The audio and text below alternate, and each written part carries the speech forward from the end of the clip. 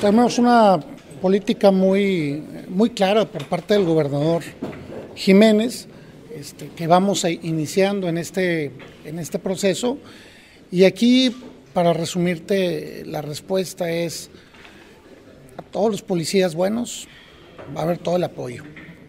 Y si hubiera un caso en particular de un hecho o de un acto como el que me comentas, hay instancias para investigarlo. Nosotros eh, traemos la idea del alcalde de, conservar lo bueno que se ha hecho hasta ahorita, pero también aprovechar las áreas de oportunidad que en materia de seguridad pública lo podemos hacer. Y una de esas áreas es la prevención, otra es la proximidad, la inteligencia y algo que, que el gobernador lo ha dicho en otras ocasiones, la ciudadanización de la seguridad. Y esto implica que entre todos cuidemos eh, nuestro Estado. Por ello, si hubiera algún caso en particular, eh, se recibiría eh, la denuncia, se investigaría con las instancias que hay, tanto internas como externas, y vamos a estar muy pendientes de eso. a nadie.